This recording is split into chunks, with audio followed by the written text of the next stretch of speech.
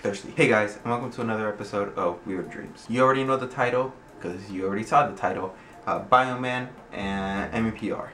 I forgot the title myself because I'm looking at it right now. I have to look over to remember it.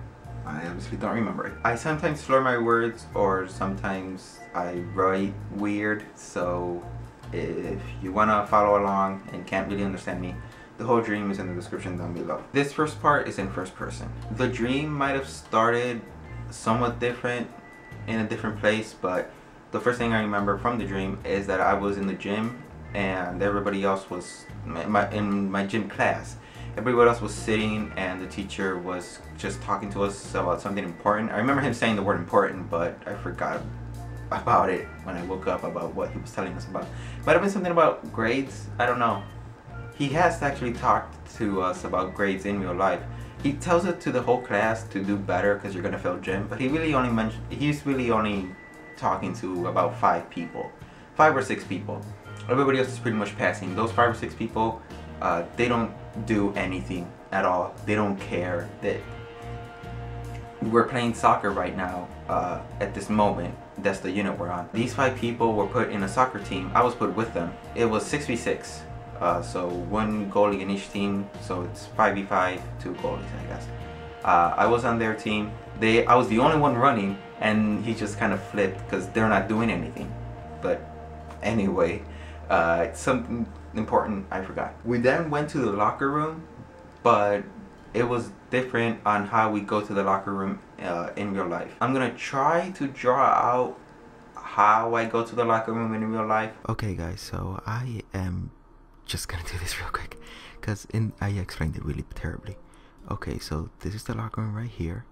Usually for gym, I only do the things that were needed, by the way. So I go through this door, go through this small hallway, go through this door, and this is where we play stuff. We would play basketball, soccer, floor hockey. It was all on this area. This all of this area is the East Gym, by the way.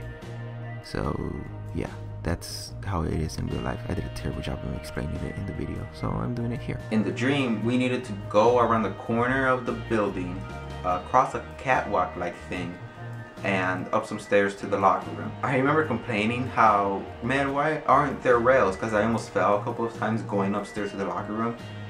And I complained that there wasn't any railing because I almost fell a couple of times. But it made sense to me uh, as soon as I complained because for whatever reason there were lockers on the wall of the on the walls of the stairs. So stairway, wall, wall, and there were lockers next to it. So you couldn't have railing. And now it's in third person. It's as if I'm watching a TV show that is my dream. I saw a girl who looks like Kimberly from Mighty Morphin Power Rangers and she was on the catwalk thing, but this now she was on a shore. It's the catwalk and in front of her is sort of like a dock almost.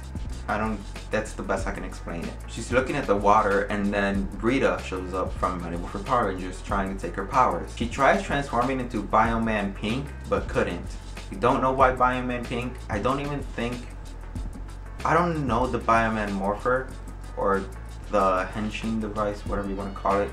But in the dream it was sort of, I think it was, in the dream it was sort of like the one from Jetman. Uh, I think she was about to raise her arm up and like touch the her wrist. It was a wrist morpher, and she tried tapping it. It's like, all right, let me morph. Uh, uh, Rita shoots at her or something, and she had a a white bee on her chest. Rita took the bee to in order to take her powers and then hit in the water. Then the rest of the Mighty Morphin Power Ranger team shows up except for green and white. They're the same person but still, it's the main five. No, well the main four I guess because Kimberly's part of the main five. They went there looking for Rita and Jason or the Red MMPR, Mighty Morphin Power Ranger, said, hey isn't that her in the water? Sort of noticed something glimmering, I guess. Billy, the smart one, said, no, why would she stay here? And they just disregarded it and were like, yeah, why would she stay here? And they just teleported out. Maybe they didn't see Kimberly's body or uh, if I remember right, her body was sort of disappearing in like a, a pink mist, sort of as if when she lost her power, she was losing her life. Uh, I don't know if her body disappeared or they didn't see her body. I don't know. Body, body, uh, those events probably didn't happen in that order, but still. So that's it for this dream. Uh, now I'm not gonna forget. I dreamt it on the night of April Fools and on the morning of April 2nd. This dream probably means that one, the school's gonna be renovated.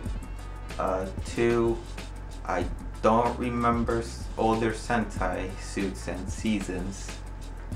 And